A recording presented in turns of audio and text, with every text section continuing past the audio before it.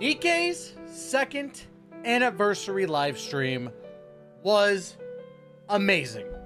I got so hyped. I, I, I literally somebody in my comments was like, "This feels like a Nintendo Direct," and that's how hype it was for me. It was as hype as a Nintendo Direct because let's be honest, you know, I, I like I like the big booba. I'm just saying, I can't help it. But Nikke has such a great story in general, and I always have so much fun playing the game. So for me, it was a no-brainer to be excited for the second anniversary. So we're going to be talking about what was announced during the second anniversary of Nikke special live stream, all that good stuff. And of course, before we get to that, make sure to like, comment, subscribe, and make sure that you hit that notification bell to be notified when the next Nikke video comes out. And of course, don't forget to check out GamerSupps. Use code Tystra for 10% off. Guys, I'm telling you, all the great products that come from GamerSupps, I love shilling them. It's fantastic, right? So make sure that you're there for the next drop of GamerSupps whenever that is. It should be this week. I think that there's going to be something dropping this week. I haven't gotten anything yet. I can't give you guys any details just yet,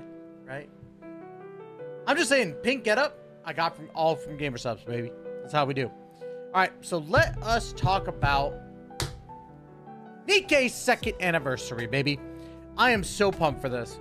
Um, yeah, it was so good. Let's let's get this out the way first off, right? So we got this. We are getting a lot of pulls. Now, I'm I'm zooming in right now for y'all. But look at all these pulls that we're going to be getting. 173 pulls in general.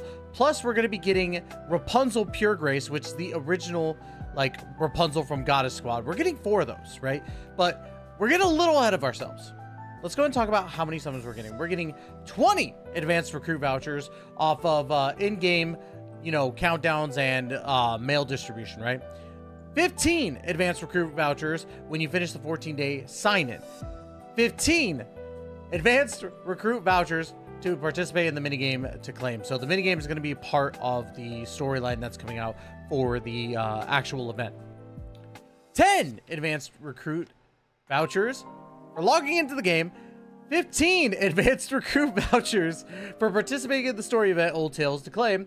And 10 advanced recruit vouchers to be distributed on 11-4 via in-game mail. Now, for advanced recruit vouchers, these are basically the summons that you would use to get the, you know, the new pilgrim units, aka uh, Anachiro or Cinderella.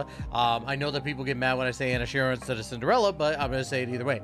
Anachiro, Grave, that's it. And then any future character that comes out on their own banner. Now, how many summons is this? Now, if we look at this, uh, 50 right here and about 45 right there. So almost 10 multis on advanced banners. That's huge, right? Now, of course, we're also getting 10 recruit or 15 recruit vouchers from participating in the old story. Those are just the regular ones, and then six recruit vouchers for bonuses for weekend weekend dailies. We also got 25 recruitment opportunities uh, for the one point or two year anniversary community bonus. Um, we're also getting a free Cinderella and Grave pickup pool recruitment opportunity daily. 21 recruitment opportunities for each Nikke, which means that we have a total of 42 from those singles. So you add those to, you know, my 66 two thirds shit. Uh, if you add the 42 to the 95 that we were talking about before, that's what I'm trying to quit max because uh, I'm super, super fast. Uh, we got 95 plus 42. I got a calculator on the side. 137 opportunities to get Anachiro or Grave. That's huge, brother, man. We're also getting a Nikke selection box times three, uh, which is what we were talking about. You get Pure Grace and Rapunzel automatically, but you could also get three Pure Grace Rapunzels or hmm, three of the uh, Snow White Innocent Days from last year's anniversary, which is pretty freaking sick. I'm just saying. Pretty dope, right? Now, let's go back over here. This is honestly big. 173 uh, like types of recruitment is amazing. You know, and 95 of those, well, actually, I'm sorry, 137 of those are going to be like advanced re recruitment vouchers and such. So, big win from Nikke. I deeply appreciate all that they do for that. Now, of course, we got second anniversary rewards, which are going to consist of a bunch of stuff. We got all this already. Uh, well, except for the uh, um, Rapunzel. but we did get some of the stuff already. Like, uh, get, I'm just saying, man, getting these for the, um, uh, why am I like losing it, Scoobs? I am so losing it for some bizarre reason, man. Um, this is basically for the synchro, right? The green thing, and we already got two for free, which is absolutely bonkers. Um, we did get some stuff about the new event that's coming out called Old Tales or Origin. Uh, and we get to see this character. Now, what I find strange, right? I'm gonna, I'm gonna pull this up. Hold on. Before I do that, I want to make sure that nothing crazy comes up, okay? Pine. I'm pulling up Pine for a good reason. Pine Nikke. Right? Now, it could be that it's a mass-produced model, right? But I have a theory. A game theory, right? Now, if you look at Pine right here, right? Blue eyes, the hair is exactly like that.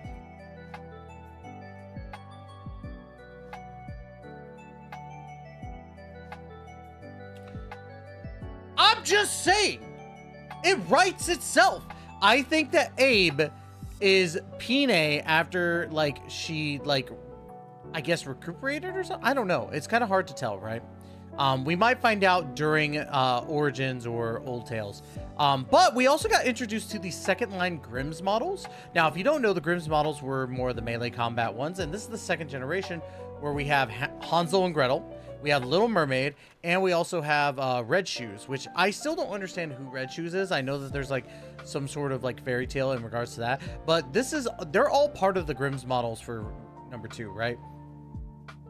But there's something about Abe. There's something about Abe that is co coinciding with Pine. Whether they're the same mass-produced Nikke model or if they're actually the same person. But we're going to get into this as well because I think it goes a little bit deeper than that.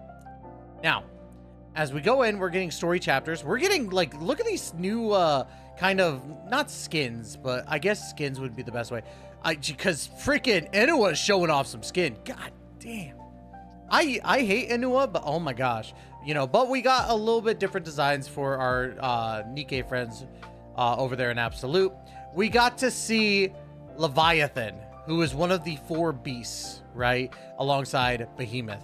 So, I'm so pumped for these chapters and the story for Cinderella because, my God, this looks like it's going to ramp up really freaking big. Now, of course, we're getting into the characters now. We got Anachiro, aka Cinderella, right here. Cinderella is going to be a burst 3 defender, rocket launcher electric, but what she's going to be doing is like she buffs herself and then like with her burst skill, it allows her to take all the buffs and fire shots with uh, glass slippers, which is pretty sick. Now, here's one thing I was super surprised about, but at the same time adds to my theory. And I'm going to move myself over here. There's a second pilgrim that's going to be summonable, and that is Grave. Now, remember what we just talked about? Hmm? Remember what we just talked about? Blue eyes, blonde hair in a certain pattern. I'm just saying, if if it is just a coincidence and it is just the mass-produced Nikke, right? I'm just saying that's a heavy coincidence. If it's not, though, oh my god, this story's about to turn upside down, in my personal opinion. But yes, we did get Grave, and I'm super stoked for this. I honestly thought how it was going to go is we were just going to get the one Pilgrim, just like we did last year with Red Hood. We were going to get, uh, obviously, Anachiro, and Grave would be the new unit, which is not the case. But we're going to get into that as well. Well, we kind of did, but you get what I'm saying. So Grave is going to be a support character burst 2, right? And what's really cool about her is that she's going to enhance uh, herself and allies with piercing attacks. So she's going to be a great burst too. So for like I think in regards to burst twos regarding like the pilgrims and stuff, I, I don't know if she's to replace Crown, but I think she's to be good for just outright damage. So pretty stoked on that. Then of course we got obviously Rapunzel Pure Grace. She's going to stay burst one defender. Uh, she's to have the ability to uh, fortify shields for allies, uh, restore shield and enhances ally attack power. She is a free unit, so don't expect her to be absolutely broken, but I do think she's going to provide a lot of good support. I don't know if she's going to be beating out leader in the slot one action, but she's still really, really good. New skins. And not only that, we're getting two gacha skins, which suck because I don't want I don't want to deal with gacha skins all the time. But we are getting a, a Cinderella uh, gacha skin, which is she is gorgeous. This is princess vibes. Obviously, it's glass princess, so it makes sense. We're getting a Scarlet Black Shadow gacha skin, and my god damn I'm sorry, I zoned out there for a second. She's so incredibly hot. But here's one I'm excited for because I like Isabelle's character. I like the whole yandere thing. I'm I'm into crazy chicks. I'm just saying. But um, Isabelle's getting a skin, and it's a wedding skin, honeymoon party, and uh, yeah, I would love to go on a honeymoon with her. She has this idol where she brings her hand up from her like you know all the way up, and I'm like, bro, insane. And then of course my other wife uh, D Killer Wife, aka Yor Forger over here. Um, yes, she's getting a skit as well, and I'm so pumped. I like these are this is like, in my opinion, the best set of skins for me because my god, they're so freaking amazing. Uh, we're getting a new minigame from the story event, which is basically a Metroidvania type of uh, side scroller, which I'm super pumped for. I I like the fact that they're willing to do so many different things in regards to these mini games. So big, big things coming from this. I loved the little demo that they showed off, so I'm I'm stoked. I'm pumped. Um, and then of course we got this, and now I want to tie this into something that I got. I got into it. I got one guide a little bit. I got one guide a little bit in my video where I talk about my reaction, right? And I want to talk. I want to talk about why I got one guide, right? I had to get a drink of water because my uh, trying to keep myself going here.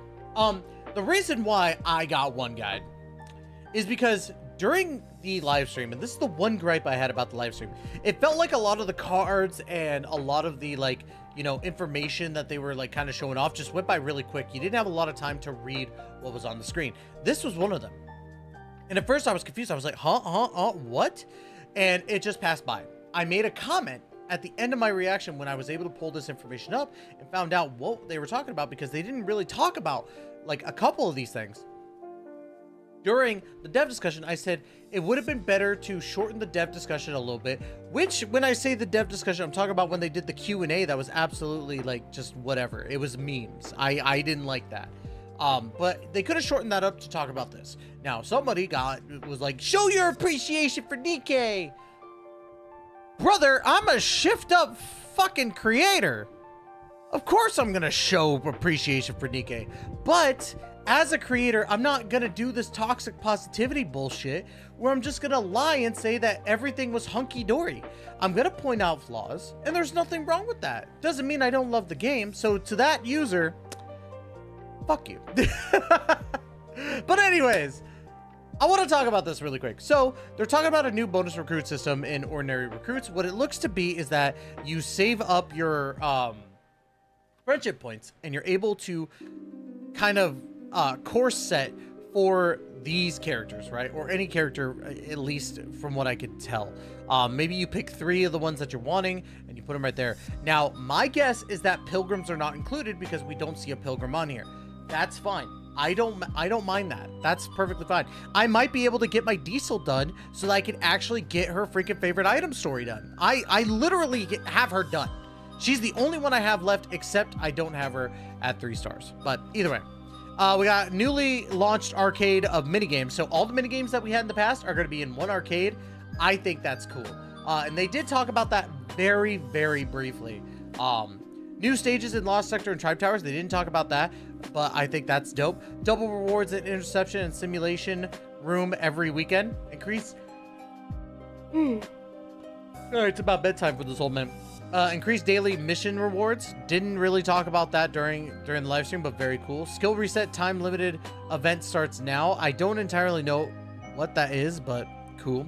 And then they're adding new story events to archives, First Affection and New Year New Sword, which was uh, First Affection was the uh, I think it was the story behind um, getting uh, Modernia's costume. I think. I'm pretty sure. And then uh, New Year, New Sword was the one where we uh, talked to Scarlet during, you know, Scarlet Black Shadow. Or no, yeah, it was there now.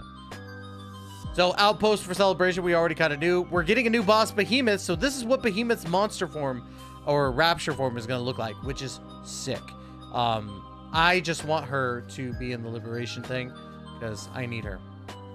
And of course, like near the end, they start talking about a couple of the stuff that they're going to be doing. They're doing a Milk Tea brand collaboration uh, over in the US and Canada. Uh, they previewed a couple figures. This is one of them. The Blanc Noir looks absolutely sick. The Modernia Figma, I need. I will fight every single one of y'all for a Modernia Figma. I'm telling you. Uh, Anis Sparkling Summer uh, got announced too. We got more figures. Figma Scarlet. I didn't realize that that was a Figma, and I'm gonna have to elbow somebody as well. Uh, Cinderella statue is in production, and so is a Modernia First Affection. Uh, they got Nikke cards going to Weiss Schwarz, and uh, I might just have to buy a couple booster boxes just to get these because that is uh, that's insane. December December 13th. So if any of you want to buy me a uh, early Christmas present or late birthday present, uh, please do. Uh, but I'm just saying, that looks really, really cool. I'm so pumped for that. Uh, Nikke Orchestral Concert is going to be happening as well, which is dope. Uh, looks like they got a couple of uh, little manga things, it looks like. So I'm pretty stoked on that. Uh, and then I'm, if I remember correctly, these might be noodle stoppers which is like you put them on the top of the noodle and it keeps it like hot while also having a hot ass waifu on there. So that's pretty cool. I know they did that with Uni, but yeah.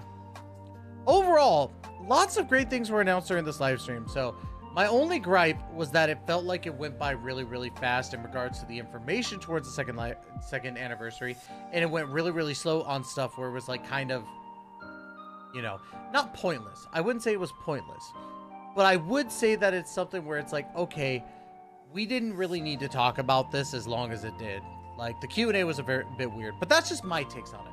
I want to know from y'all. Let me know in the comments down below what you thought about the second anniversary live stream. Am I warranted in my one and only gripe about the live stream? Or do you guys think that I'm just being, you know, a big fat piss maybe about it? Um, I'm not upset about because the second anniversary live stream was probably one of the best gacha live streams I've seen in a long time, in my personal opinion. And I, I watch a lot of gacha live streams. So, anyways, y'all, that's going to be it for today's video. Like, comment, subscribe. Let me know what you think. Let me know how your polls are looking for, you know, Anachiro and Grave. And that's going to be it. Love you all to death. And as always, we'll catch you in the next video. Please take care and be safe.